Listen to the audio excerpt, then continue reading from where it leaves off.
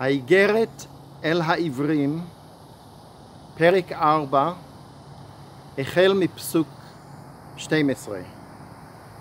שהרי דבר האלוהים חי ופועל, וחד הוא מחרב פיפיות, וחודר עד להבדיל בין נפש לרוח, ובין פרקים למוח, העצמות, ובוחן מחשבות הלב וכוונותיו.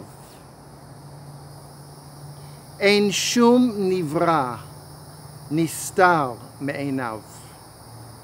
הכל חשוף וגלוי לעיני מי שלפניו עלינו לתת דין Cheshbon. Amen. The book of Hebrews, chapter 4, beginning in verse 12. For the word of God is living.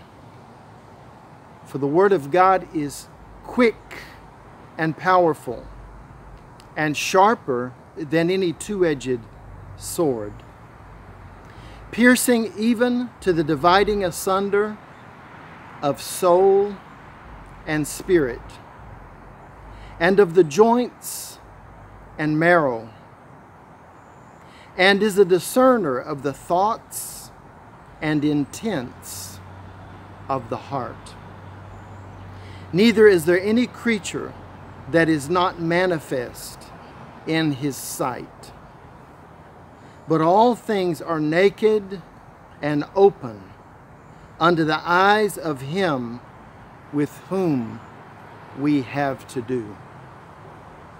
Amen.